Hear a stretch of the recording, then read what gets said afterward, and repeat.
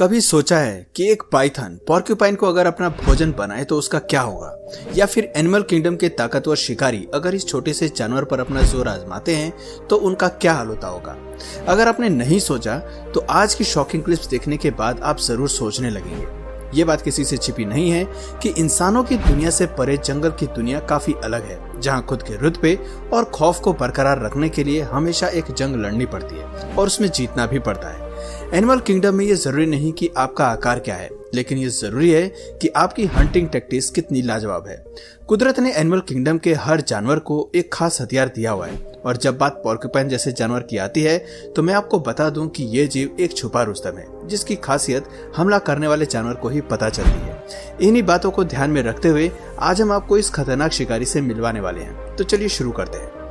कुछ समय पहले सोशल मीडिया पर एक फ़ोटो काफ़ी वायरल हुई थी, जहाँ एक पाइथन ने पॉर्क्यूपाइन को अपना भोजन बनाया था। फ़ोटो में दिख रहे पाइथन को देखकर ये बताना काफ़ी मुश्किल था कि आखिर इस जीव ने क्या निकला है। क्योंकि एक पाइथन के पोर्क्यूपाइन को अपना डिनर बनाते हुए शायद ही कभी देखा गया था। लेकिन बाद में इस बात का खुलासा हुआ कि इस जीव ने पोर्क्यूपाइन को खाया है।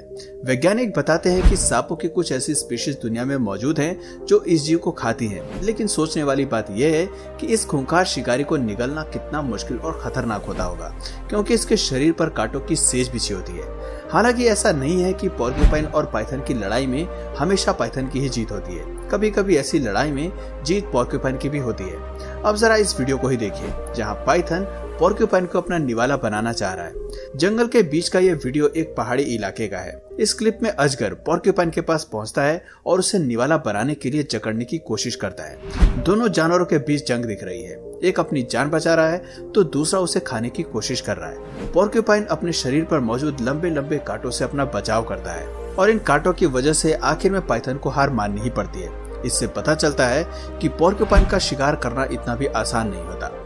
पोर्क्यूपाइंस जो लोग नहीं जानते, उन्हें मैं बता दूँ कि पोर्क्यूपाइंस बड़े रोडेंट्स होते हैं, जिनके शरीर पर पॉइंटी शार्प स्पाइक्स होते हैं और इन्हीं स्पाइक्स की मदद से ये अपने प्रीडेटर्स पर भारी पड़ते हैं। धरती पर पॉर्क्यूपाइंस की एक फैमिली यूरोप, एशिया और अफ्रीका में पाई जाती है। वहीं इस जीव की दूसरी फैमिली नॉर्थ अमेरिका और साउथ अमेरिका में पाई जाती है। यूरोप और एशिया में पाए जाने वाले पोर्क्यूपाइंस की प्रजाति आकार में बड़ी होती है। ये जीव टेरेस्टेरियल होते हैं और रात को शिकार करना पसंद करते हैं। इसके विपरीत, अमेरिका में पाए जाने वाले पोर्क्यूपाइन आकार के मामले में दूसरी प्रजाति से छोटे होते हैं। ये जीव वुडेड एरियाज़ में रहना पसंद करते हैं। ये पेड़ों पर चढ़ सकते हैं और वहीं अपनी ज़िंदगी बिता सकते हैं। ज़्यादातर पोर्क्यूपाइंस हमें आकार में 25 से 36 इंच लंबे मिलते हैं। इनके पास 8 से 10 इंच लंबी पूछ होती है और इसका वज़न 5 से 16 केजी का होता है। दिखने में ये जीव बड़े और काफ़ी स्लो होते हैं। खुद के बचाव के लिए ये अपने स्पाइक्स का इस्तेमाल करते हैं। दुनिया भर में पॉर्क्यूपाइंस ब्राउन ग्रे और सफ़ेद कलर में पाए जाते हैं। दिखने में ये जीव काफ़ी कुछ हेजोक की तरह लग सकते हैं, लेकिन इसके स्पाइक्स हेजोक से काफ़ी लंबे होते हैं। दरअसल पॉर्क्यूपाइंस का शरीर काटेनुमा होता है। अगर इसका कोई शिकार करने की कोशिश करता है तो वो कांटे उसके शरीर में छोड़ देता है, जिससे शिकार करने वाला जीव तड़प तड़प कर मर जाता है। हालाँकि, ये अपने क्विल्स को अपने शिकारी पर खुद नहीं छोड़ सकते।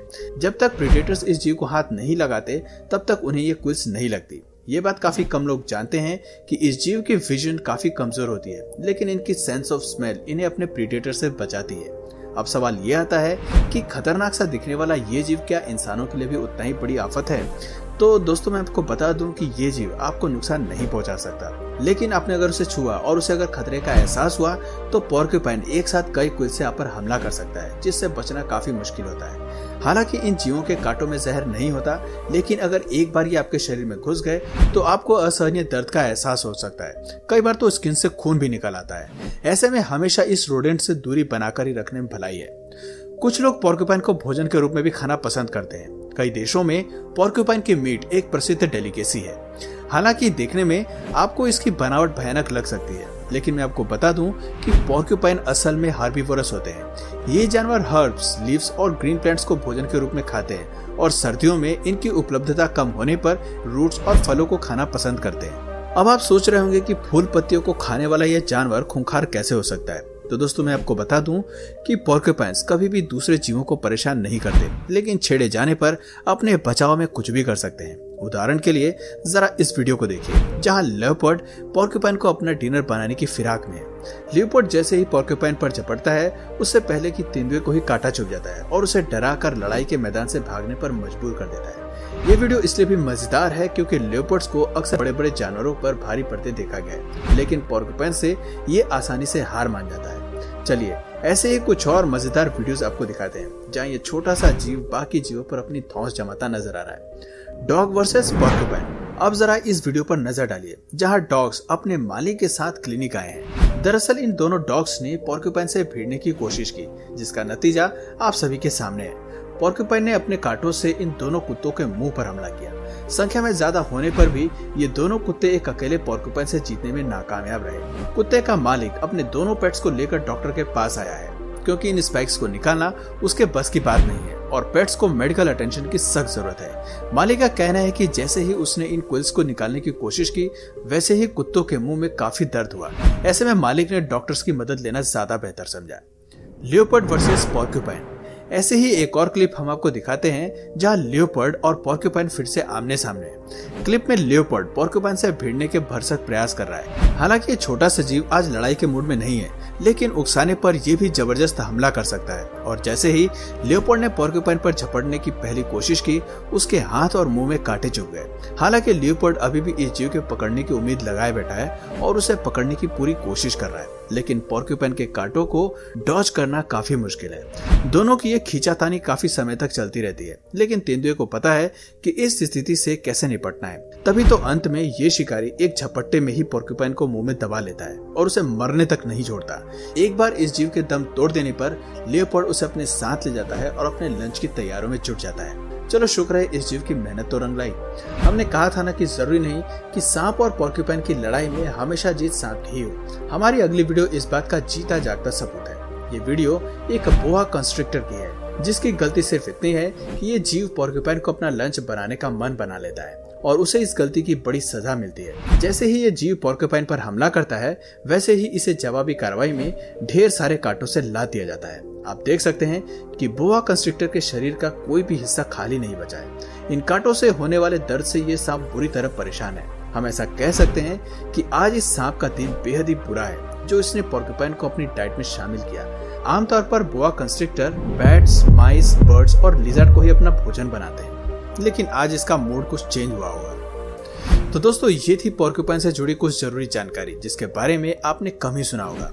इस जीव को देखकर कौन सोच सकता है कि ये कार्निवरस ना होकर एक हर्बीवरस है? शक्ल से खूंखार लगने वाले पॉर्क्यूपाइन ना चाहते हुए भी अपने फीचर्स के चलते खतरनाक शिकारी की लिस्ट में शामिल है।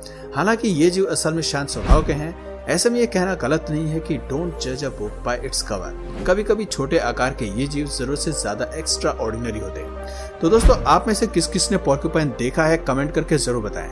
और अगर इस वीडियो से आपको कुछ नया जानने या सीखने को मिला तो प्लीज़ इस वीडियो को एक लाइक करके अपने फ्रेंड्स और फैमिली में से ज़रूर शेयर करें। और यदि आप इस चैनल पर नए हैं तो प्लीज़ इस चैनल को सब्सक्राइब करके बेल नोटिफिकेशन आइकन को ऑन कर लीजिए, ताकि हमारे आने वाले वीडियोज़ आप मिस ना करें। मिलते हैं फिर किसी वीडियो में नए टॉपिक के साथ। तब तक के लिए नमस्कार।